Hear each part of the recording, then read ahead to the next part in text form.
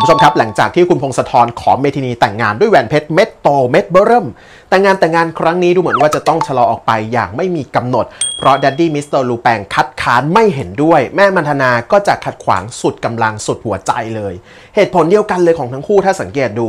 เป็นห่วงลูกๆ ต้องการที่จะกันให้พ้นจากคนเดียวอีกเหมือนกันคือ รัฐมนตรีปาริศาครับ ตอนนี้จะใช้คำว่าประโยคที่ว่าความลับไม่มีในโลกก็ได้นะครับกับกรณีของพงศธร เพราะไม่ใช่แค่เมทินีที่รู้ เจนรู้แม่มันธนารู้หมอพรพันธ์ก็รู้ครับ และสุดท้ายตอนนี้รัฐมนตรีปาริสาเองเห็นรูปของพงศธรแล้ว นินเชื่อว่าลึกๆเขารู้แหละเขาสงสัยว่า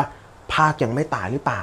ยังไงความลับนี้ต้องถูกเปิดเผย รัฐมนตรีปาริสาจะจับได้ในที่สุดว่าพงศธรก็คือภาคหลานชายตัวเองครับ มาดูทีละคนนะครับ ย้อนกลับไป 20 ปีก่อน ตัวของ Daddy มิสเตอร์ลูแปงที่เราสงสัยกันตอนนี้ แล้ววิเคราะห์ต่อเนื่องเลยว่ามันต้องมีอะไรแน่ๆ ก็ใช่ไงครับ เขาเข้าไปช่วยภาคย์ได้ทัน แล้วตอนนั้นจริงๆอะเขาเป็นแค่เพื่อนของปรเมศพ่อของภาคย์นะครับ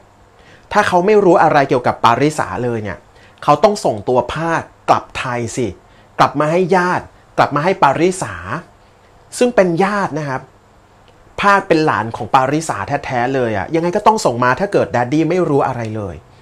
แต่ Daddy ไม่ส่งครับ เลี้ยงเอง จัดแจงเปลี่ยนให้เป็นพงศธรครับ แล้วก็อึกอักในการที่จะตอบเรื่องนี้กระทั่งทุกวันนี้ ก็ยังไม่อยากให้เจอปาริศาถ้าไม่มีอะไรจริงๆ แล้ว Daddy ไม่รู้เลยอะ่ะยังไง Daddy ก็ต้องยินดีหรือเปล่า แต่นี่ Daddy แบบ กีดกันเป็นเกราะทุกสิ่งทุกอย่างจนมันแบบเออมันบางครั้งมันก็ดูมากเกินไปเหมือนกัน แสดงว่ามันต้องมีอะไรครับ อย่างที่วิเคราะห์ครับว่ามันเป็นไปได้หรือเปล่าที่เขาอาจจะมีส่วนรู้เห็น ร่วมมือหรือมีอะไรบางอย่างที่เกี่ยวข้องกับอุบัติเหตุในครั้งนั้น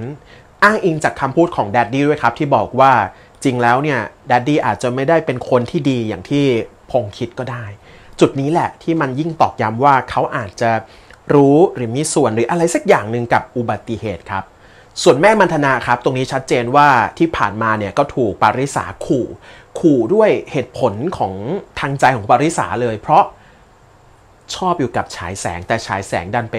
มีความสัมพันธ์กับแม่มันธนาจนมีลูกครับ ตัวเองไม่ถูกเลือกครับ ก็เลยแค้นส่วนตัวสั่งเลยไม่ไม่ต้องการให้ประวัติศาสตร์มันซ้ำรอยว่าเมทินีต้องอย่ายุ่งกับภาคนะ จริงๆ ก็ดูเหมือนรักหลานนะ แต่จริงๆ มันก็เหตุผลส่วนตัวแหละ อย่ายุ่งนะถ้าเกิดยุ่งอะจะจัดการให้เมทินีหายไป ทุกคนจะไม่รู้เลยว่าหายไปไหน นั่นเป็นเหตุให้แม่มันธนาต้องปกป้อง ฉะนั้นวันนี้เมื่อรู้ว่าพงศธรคือภาค ยังไงแม่มันธนาก็ต้องก็ต้องกันครับ แต่ท้ายที่สุดอะดินเชื่อว่าไอ้ความพยายามที่ทำกันอยู่อะยังไงก็ปิดไม่มิดในเมื่อตอนนี้พงศธรยังไงก็ทิ้งไม่ทิ้งเมทินี เขาจะไม่กลับสหรัฐอเมริกาเด็ดขาด เมทินีก็ต้องการที่จะอยู่กับพงศธรหรือพี่ภาค ไม่ต้องการให้สายรุ้งมันหายไปแล้วอะเขาสู้นะครับ ฉะนั้นวันหนึ่งปาริสายังไงก็ต้องรู้ครับ และเมื่อเขารู้เรียนเชื่อว่าถึงจุดนั้นน่ะ พงศธรต้องมีหลักฐาน มีพยานมากเพียงพอที่จะกระชากหน้ากากอาของตัวเอง ว่าอยู่เบื้องหลังการตายของพี่ชาย ขึ้นมาสู่ตำแหน่งรัฐมนตรี เพราะไปฆ่าพี่ชายตัวเองครับ ไปอยู่เบื้องหลัง ตอนนี้เขากำลังปั่นท่านพบกับปาริสาอยู่ไงสุดท้ายมันก็เพื่อหลักฐานและพยานชิ้นสำคัญที่จะเปิดโปงในครั้งนี้ คุณผู้ชมอย่าพลาดนะครับ กับ 4 ตอนสุดท้ายของละครสายรุ้งช่องวัน 31 จะไปจบในตอนที่ 16 ซึ่งปาริสานะครับถ้าถูกเปิดโปงแล้วจุดจบของเขาก็คือการหลุดออกจากเก้าอี้รัฐมนตรี หรือถ้าเขายังบ้าอำนาจไม่เลิก ยังคงอยากอยู่ในอำนาจ จุดจบของเขาอาจจะไม่ใช่ให้การหลุดจากตำแหน่งรัฐมนตรี แต่อาจจะหมายถึงจุดจบของชีวิตเลยก็ได้ครับคุณผู้ชม